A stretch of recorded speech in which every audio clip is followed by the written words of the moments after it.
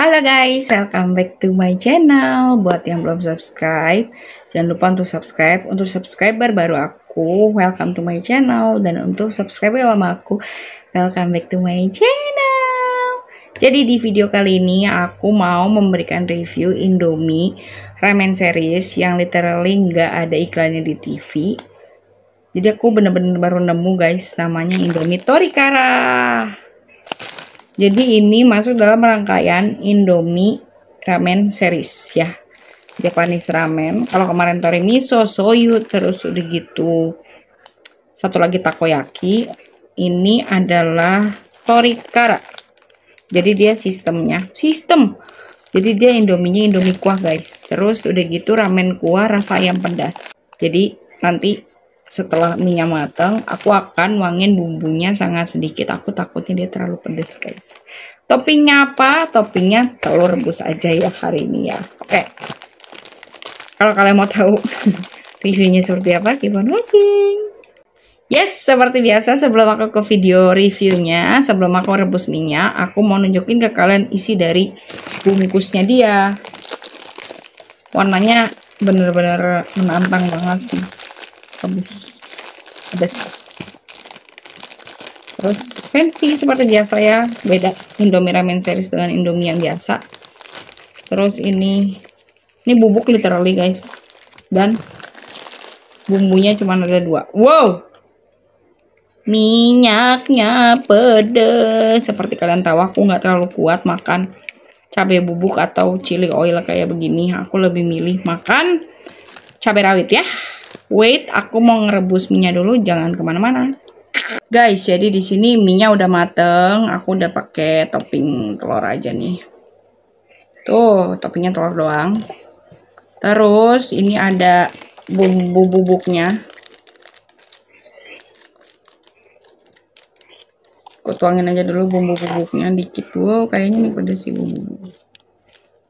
Aku tuangin dikit dulu aja guys, karena takut kepedesan ya. Yes, diam di situ.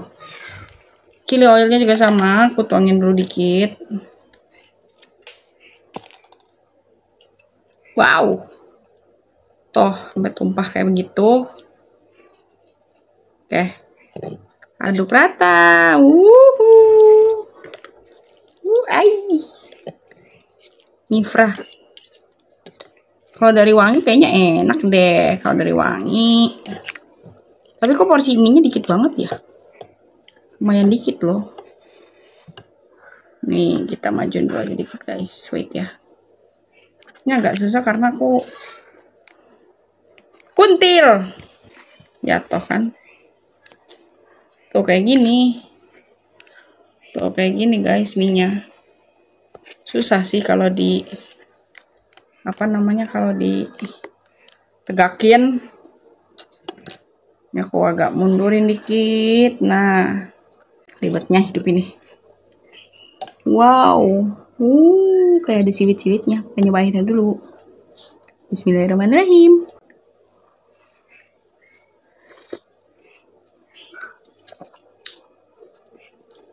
Aku bingung mendeskripsikan rasanya. Tapi ini kayaknya kental banget, guys kayaknya kental banget ini. Bukan mie yang nggak kental. Ini aku nuanginnya dikit aja bumbunya. Bumbunya chili oilnya dikit-dikit aja. Tuh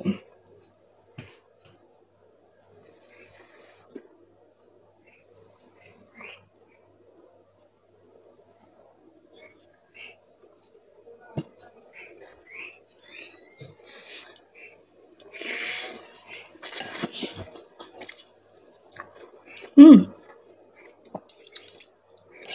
Siwitnya berasa banget.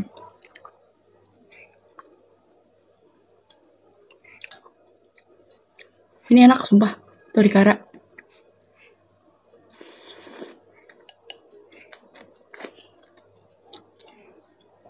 Ini kayak Indomie rasa siwit, guys.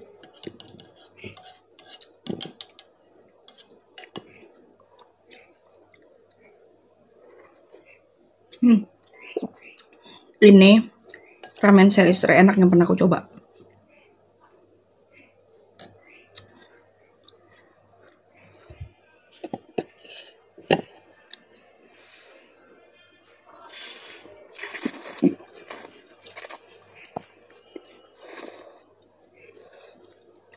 Hmm.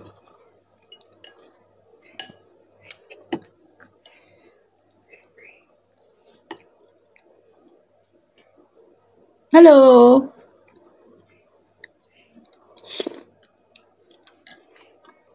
Ini enak banget. Sambalnya masih banyak. Tapi kayaknya aku mau nambah dikit sambalnya. Tambah dikit aja. Karena terlalu oily sambalnya. Males. Wah. Hmm, wanginya mantap. Porsi mie-nya terlalu dikit guys, asli deh aneh. Mie ramen series yang lain tuh porsi mie-nya banyak, ini dikit banget kenapa ya? Hmm, mantap. Wait. Kita lanjut guys, ini enak banget loh, enak banget asli.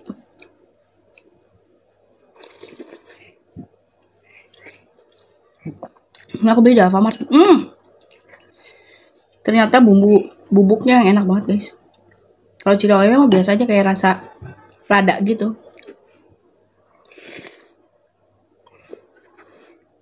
Hmm. Ini the best banget. The best, the best, the best, the best banget, the best. Tuh, warnanya oranye.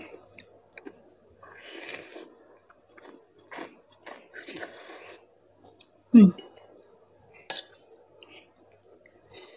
Halo teman-teman TikTok. Uh.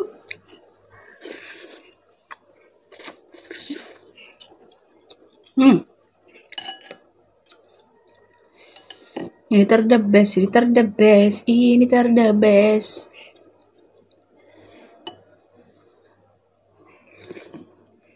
Hmm. Sebenarnya bubuk torikara sama chili oilnya kalau kalian bikin kayak sop-sopan gitu atau pakai ayam rebus gitu ayam suwir itu enak banget sih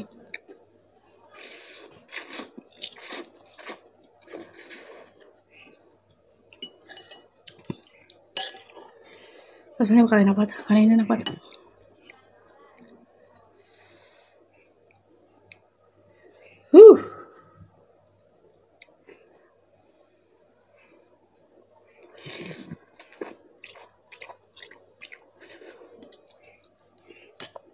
The best.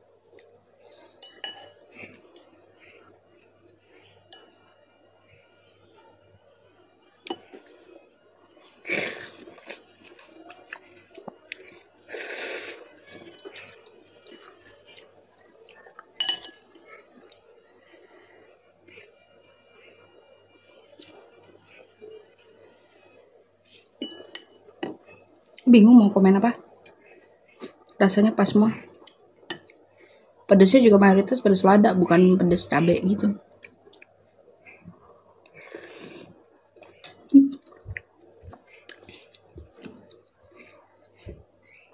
Perfect.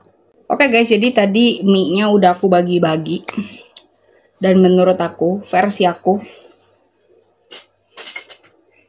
versi aku mie nya enak banget torikaranya enak banget Terus sisa cabenya tuh segini. Ini nyangkut, sabar ya. Yai. Sisa cabenya segini.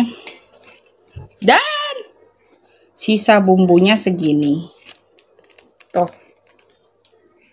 Jadi memang bumbunya masih banyak banget. Terus aku berinisiatif kalau misalnya kita bikin ayam rebus atau sayuran rebus dikasih bumbu torikara tuh bakal enak banget karena memang dia rasanya karena memang dia tuh rasanya rasa kaldu banget gitu loh guys. Dan ketika dimakan dan ketika dimakan rasanya super super siwit. Jadi jadi dia tuh rasanya siwit banget guys kalau kalian pernah makan sushi rasanya sushi banget karena ya itu tadi rasa mie-nya tuh siwit banget. Terus ya seperti tadi aku bilang kalau aku bikin ayam pakai sayuran gitu kayak wortel terus kentang direbus terus dipakein bumbu torikara. Aku berpikir kalau rasanya bakalan enak banget guys. Oke. Okay. jadi overall aku suka banget sama Indomie torikaranya. Seperti kalian tahu kalau aku makan makanan yang enak yang menurut aku enak menuju enak banget pasti aku nggak akan banyak komentar kecuali satu kata yaitu enak. Ya cuman sayangnya ya porsi mie dikit aku bingung padahal tori miso terus soyu sama takoyaki jumlah eh quantity mie tuh banyak sedangkan ini tuh kayak dikit banget gitu loh guys aku nggak ngerti yang membedakan itu aja sih oke okay. Aku harap semoga kalian suka sama video ini dan semoga kalian terbantu dengan adanya video review Indomie rasa Torikara. Jangan lupa untuk sampaikan kritik dan saran kalian di TikTok live aku. Nanti untuk username-nya akan aku cantumin di description box. Terus untuk harganya sekitar kemarin berapa ya? 5.900. Aku lupa. Nanti kalau ada part videonya akan aku share di video ini juga. Aku nggak mau Indomie varian terbaru Indomie Torikara hmm, rasa ayam pedas sama sih Japanese ramen juga tapi kok nggak tahu harganya berapa?